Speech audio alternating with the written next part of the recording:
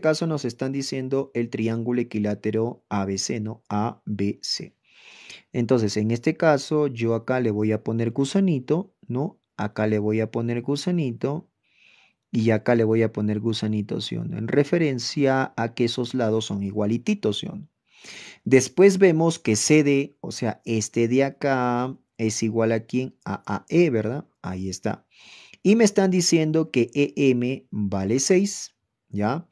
BD, o sea, todo esto de acá que tú ves vale 11 y MC, ¿cuánto vale? Vale X, ¿no?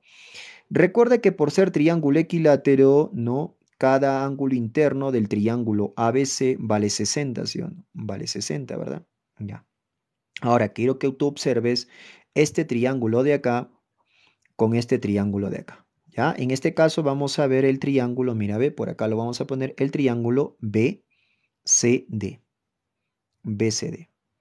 Con el triángulo, en este caso EAC, ¿no? EAC. Vienen a ser qué cosa congruentes, ¿por qué caso? Si yo tengo rayita, tengo 60 y tengo gusanito, para el otro triángulo tengo rayita, tengo 60, tengo gusanito, o sea, por el caso Lalcio, ¿no? Ahí está. ¿Eso qué significa?